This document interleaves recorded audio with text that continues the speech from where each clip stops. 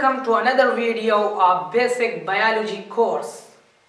In this video I am going to talk about the role of iron in human body. That what is the role of iron in human body? Iron is basically mineral which is found in red blood cell and vitamin C helps the body to absorb iron how vitamin C help the body to absorb iron? When we eat food, the food contain iron. When the food enter, so vitamin C helps the body to absorb this iron from food.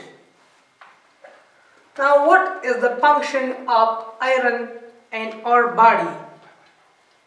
The first function is it keep our body healthy. Iron keep our body healthy the second one is iron helps in transport and storage of oxygen. It is the function of iron that it helps in the transport of iron in our blood and also store the oxygen. And the third one is, is strong the defense system. The function of iron is, is strong the defense system. And the last one is it's strong the central nervous system. Now what is the deficiency symptoms if there is low level of iron? Basically what will happen? It causes anemia in human body. What is anemia? Anemia is a disease in which oxygen level in blood is low. This is called anemia. So if there is low level of iron in our body, so it causes anemia, fatigue, uh, a body can be tired, weakness, and rapid heartbeat due to low, low level of iron.